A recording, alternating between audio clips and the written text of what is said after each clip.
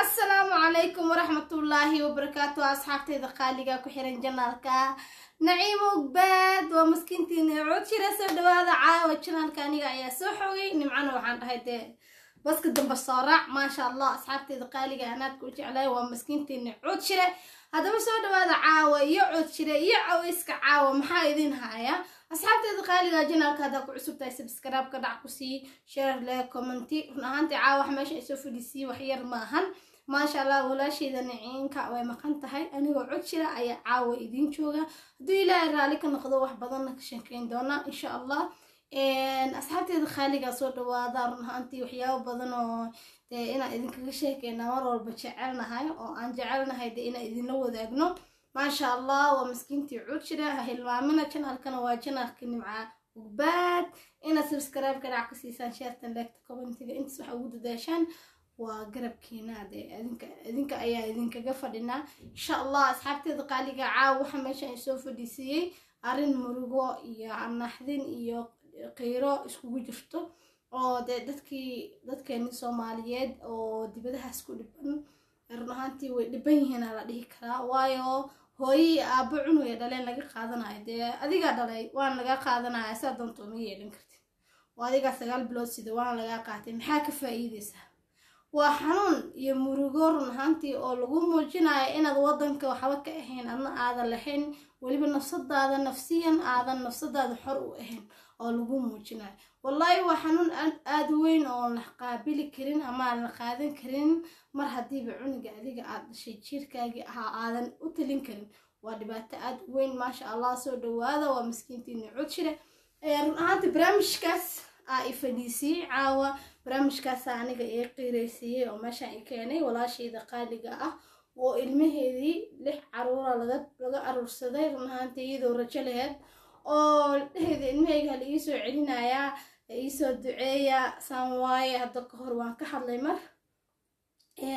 Marka waxaa xanuun ah hadeertaana in keedii yarkahay umusha ay ahayd laga qaatay. Run ahaantii horta hooyo cunugeeda umushahayd laga qaatay waa xanuun. Saasay tahay haddana dibadda haddaad adiga markii lix caruura lagaa qaatay oo aad joogtid waddan islaameed oo aad u jeedid inay waxba ka soo naasab caddeen inaad mid toddobaad ku dhashid aaba qaladaba inaad kala soo tagtay ahayd inkastoo aan guddigasho aysan iga ahayn laakiin haddii marba aniga lix caruura iga maqan tahay awoodna aan u lahayn inaan soo ceshto. Kan toddobaad waddankayga hooyaan ku dhalaa maxaa ugu dhalaaya halkaas?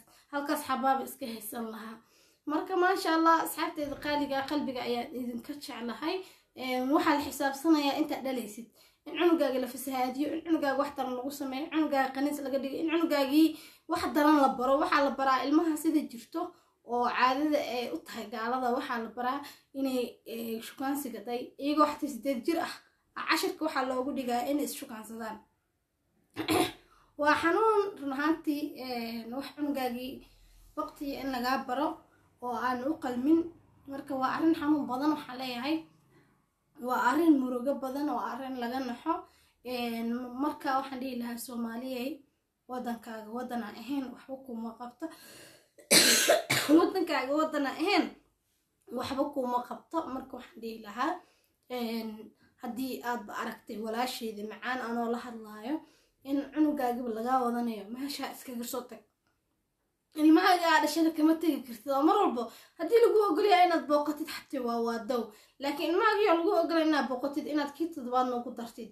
Wallahi ani waddankaa kuma dhaleen oo waan ka soo tagi lahaa si aan waddankayga hooyo iyo meelahaan soo kaxtay aan ugu dhalo. Waayo cunugeyga haddii hadda toddobaadkii toddobaad laga qaatay hooyo keligeed haddana qol madow ayada keligeed joogto. Si walboo leer ugu shidan yahay ama barwaaqo ugu shidan tahay hooyo mar haddii cunugeedii gacanta aysan ku haysanin waa mugdi mugdi aan nagula ogeyn xanuun badana waa mugdi aan nagula ogeyn. Run ahaantii gaaladaas waxay u amur sheeganayaan ama ay u xog sheeganayaan.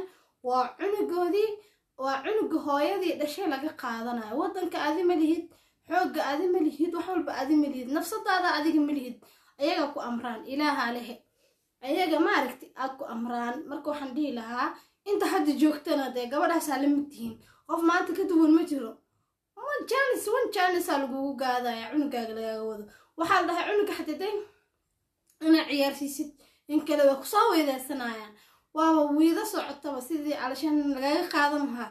Jaanis yar ilmaha way wareysanayaan hooyada maku dhibtaa. Hooyada bal waarid wax dhibaa xaggee lagu arkay.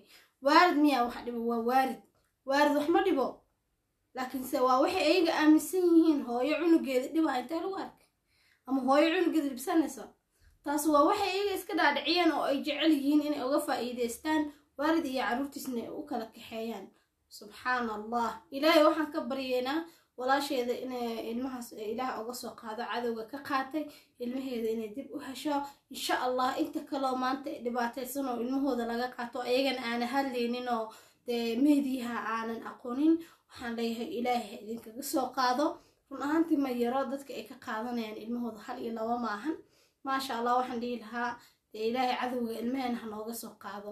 Hadda kahor waxaan xasuustaa wiila ilmihiisa ay ka haysteen oo magaalada xamar kala soo degay elboorka soo maahan elboorka kala soo degay? Maasha allah marka wallaahi farxad weyn waaye marka cunugaagiiyo xoog lagaga haystay si si aada filayn lagugu soo daayay marka waxaan dhihi lahaa ilaahay lama filaan ha kaagaga soo qaada ilmahaaga adigoo filanaynin ha laguu keeno. Insha allah iridda ha lagaaga soo geliyo adigoon filanayn waxaan rajeynayaa ilmahaaga inuu ilaahay iridda dalaqaaga soo siiyo awoodda ilaaha iskale gaal ma laha.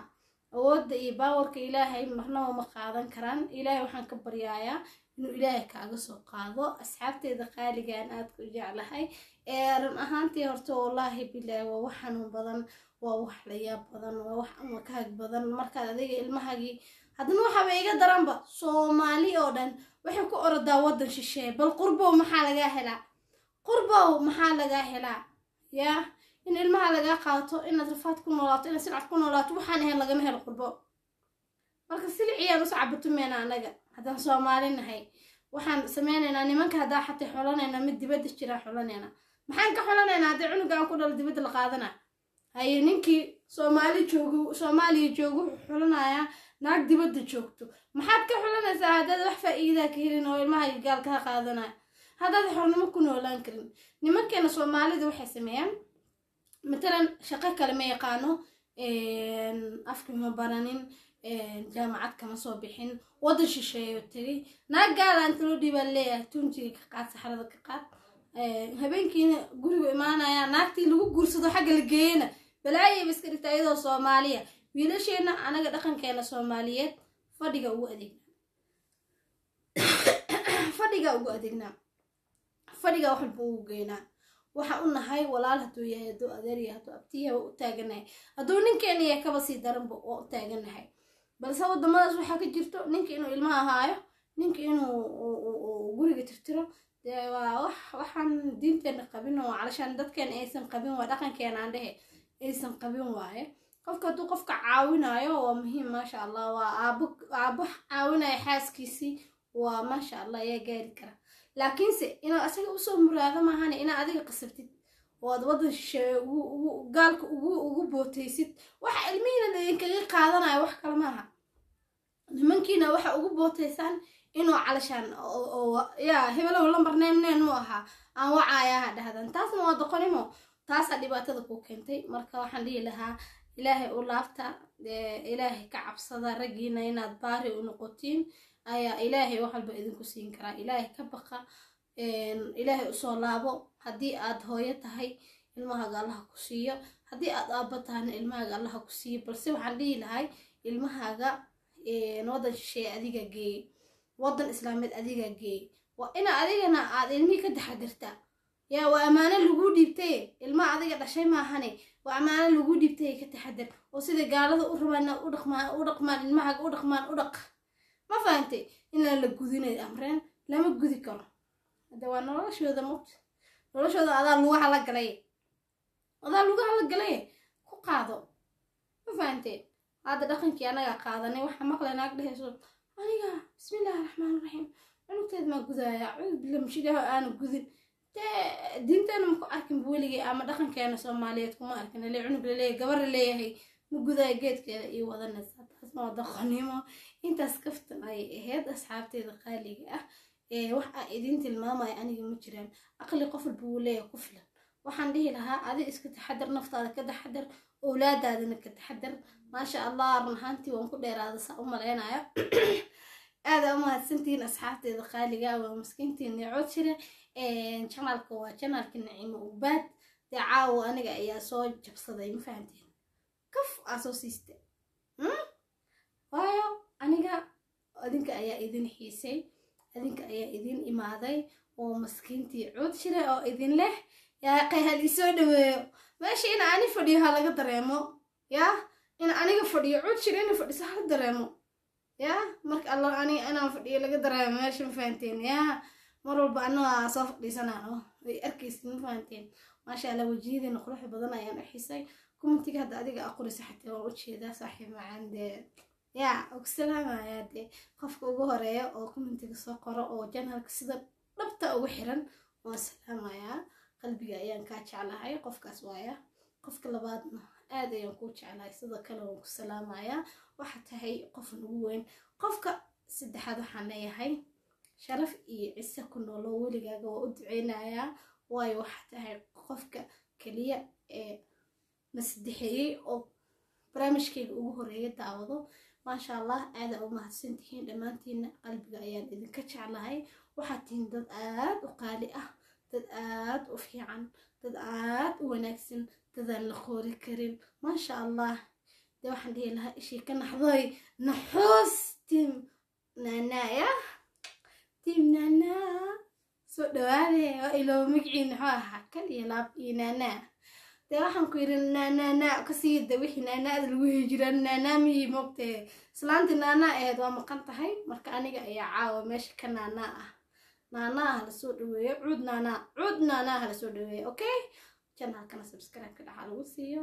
Waa anigoo cod shira ah oo idin leh. Sidaa iyo nabaadiina wasalaamu calaykum waraxmatullaahi wabarakaatu